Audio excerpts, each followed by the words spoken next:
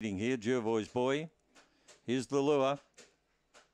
They're off. Jervois boy was away fast, goes straight to the front. Yulia gets across to be a safe second. They're followed next by Just Baz on the outside. Railing up was Long Gully Jane around the outside. Come on, Lena. And a gap on the field, then Tyson's Choice and uh, Just Baz can't go. It's going to be lucky to finish the course and Dynamical Ditto off the back and the leader. Jervois boy is out by about five or six. They're not going to get him, I don't think. Coming home is Come on, Lena on the outside with Yulia. Jervois boy going strong enough and wins by three or four to come on Lena Yulia. Close for fourth, Long Gully Jane or Go EK. Then came Tyson's Choice, Just Baz, and, well, Dynamical tailed the field by a huge margin all the way. 31.19. 31.19. If you know they're going to lead, you should be backing them.